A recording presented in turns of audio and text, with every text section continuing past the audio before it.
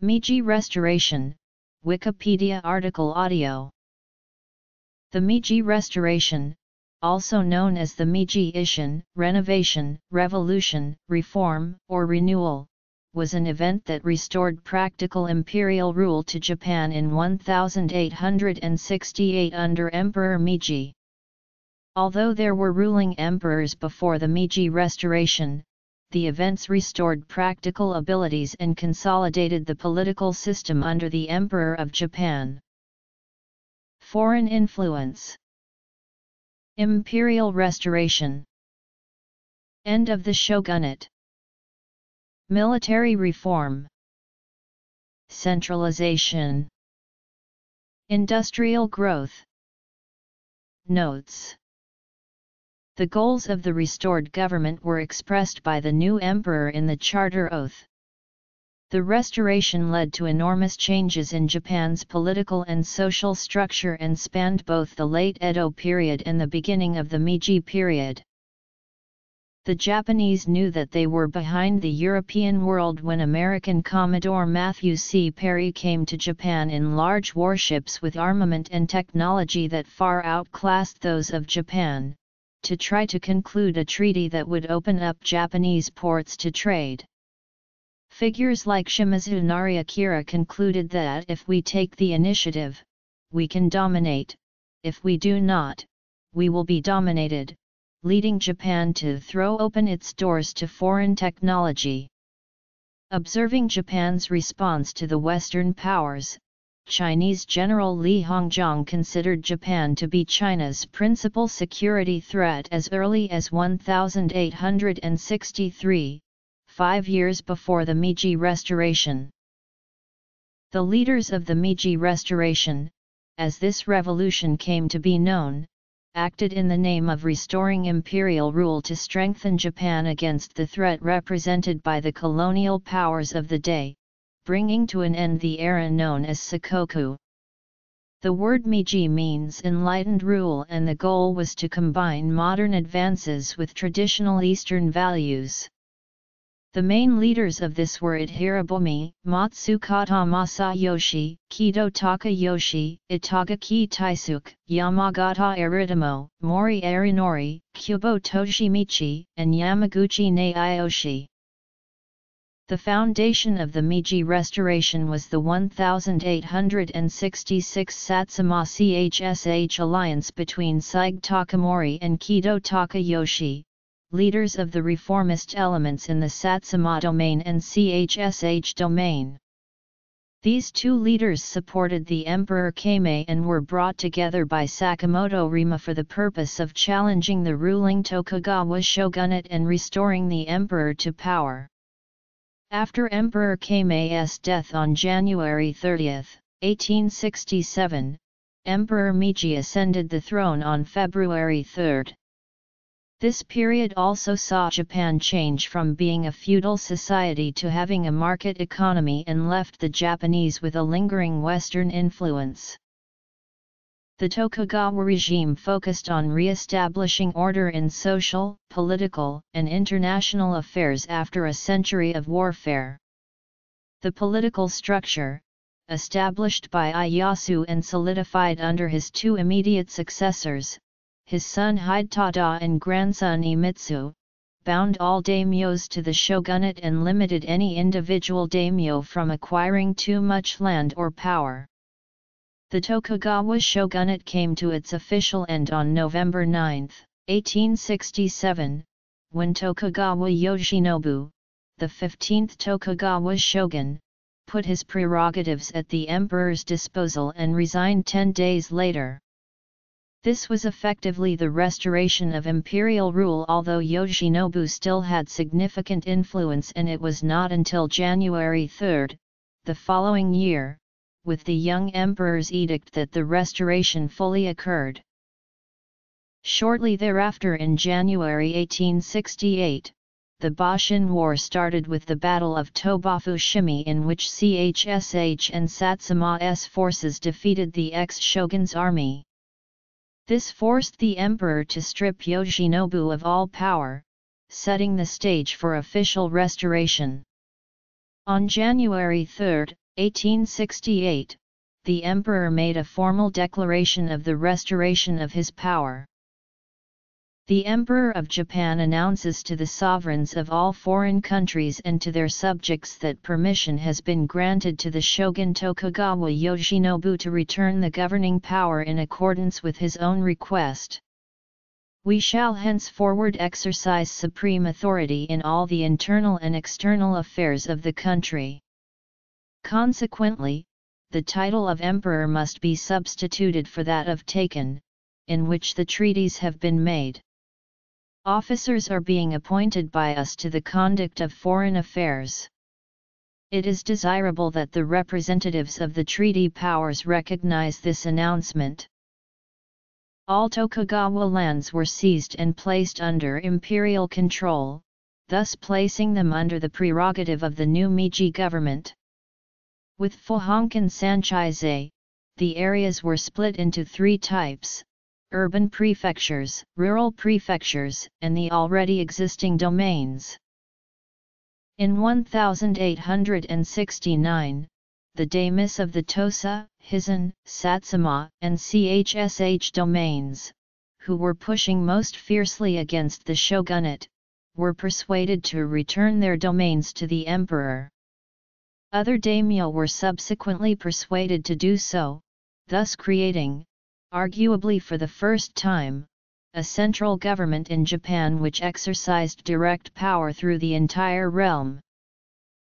Some shogunate forces escaped to Hokkaido, where they attempted to set up a breakaway republic of Ezo, however, forces loyal to the emperor ended this attempt in May 1869 with the Battle of Hakodate in Hokkaido. The defeat of the armies of the former shogun marked the final end of the Tokugawa shogunate, with the emperor's power fully restored. Finally, by 1872, the daimios, past and present, were summoned before the emperor, where it was declared that all domains were now to be returned to the emperor. The roughly 280 domains were turned into 72 prefectures, each under the control of a state-appointed governor. If the daimios peacefully complied, they were given a prominent voice in the new Meiji government. Later, their debts and payments of samurai stipends were either taxed heavily or turned into bonds which resulted in a large loss of wealth among former samurai the Meiji Emperor announced in his 1868 Charter Oath that knowledge shall be sought all over the world, and thereby the foundations of imperial rule shall be strengthened. Under the leadership of Mori Arinori, a group of prominent Japanese intellectuals went on to form the Meiji Six Society in 1873 to continue to promote civilization and enlightenment through modern ethics and ideas. However, during the Restoration, political power simply moved from the Tokugawa shogunate to an oligarchy consisting of these leaders, mostly from the Satsuma province, and Chsh province. This reflected their belief in the more traditional practice of imperial rule, whereby the Emperor of Japan serves solely as the spiritual authority of the nation and his ministers govern the nation in his name. The Meiji oligarchy that formed the government under the rule of the emperor first introduced measures to consolidate their power against the remnants of the Edo period government, the shogunate, daimios, and the samurai class. The oligarchs also endeavored to abolish the four divisions of society. Throughout Japan at the time, the samurai numbered 1.9 million.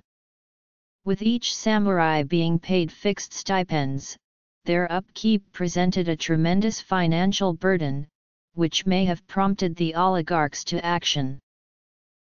Whatever their true intentions, the oligarchs embarked on another slow and deliberate process to abolish the samurai class. First, in 1873, it was announced that the samurai stipends were to be taxed on a rolling basis. Later, in 1874, the samurai were given the option to convert their stipends into government bonds. Finally, in 1876, this commutation was made compulsory. To reform the military, the government instituted nationwide conscription in 1873, mandating that every male would serve for four years in the armed forces upon turning 21, followed by three more years in the reserves.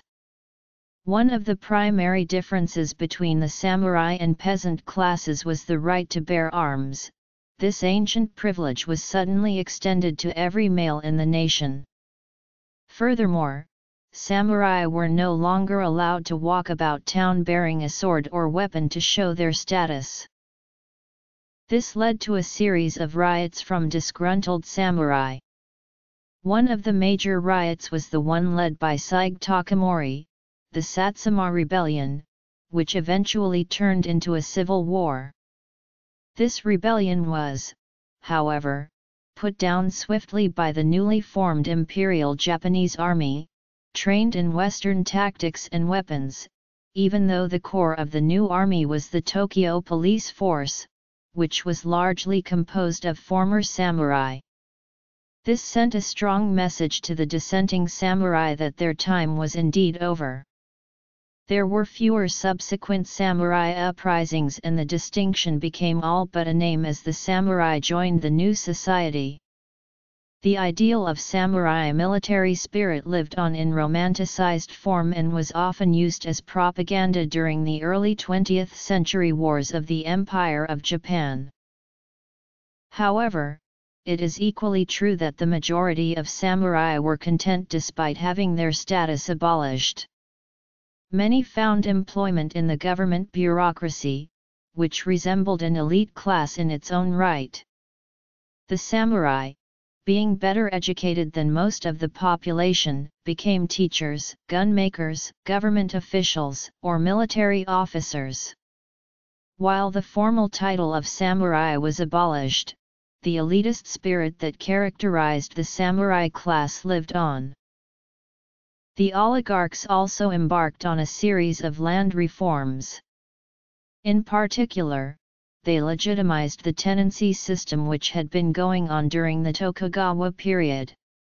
Despite the Bakufu's best efforts to freeze the four classes of society in place, during their rule villagers had begun to lease land out to other farmers, becoming rich in the process. This greatly disrupted the clearly defined class system which the Bakufu had envisaged, partly leading to their eventual downfall. The military of Japan, being strengthened by nationwide conscription and the infusion of a samurai military spirit, became emboldened to see themselves as a growing world power after winning both the Sino-Japanese War and the Russo-Japanese War. Besides drastic changes to the social structure of Japan, in an attempt to create a strong centralized state defining its national identity, the government established a dominant national dialect, called Standard Language, that replaced local and regional dialects and was based on the patterns of Tokyo's samurai classes. This dialect eventually became the norm in the realms of education, media, government, and business. The Meiji Restoration, and the resultant modernization of Japan, also influenced Japanese self-identity with respect to its Asian neighbors, as Japan became the first Asian state to modernize based on the European model, replacing the traditional Confucian hierarchical order that had persisted previously under a dominant China with one based on modernity. The Meiji Restoration accelerated industrialization in Japan, which led to its rise as a military power by the year 1905, under the slogan of Enrich the country, strengthen the military. The rapid industrialization and modernization of Japan both allowed and required a massive increase in production and infrastructure.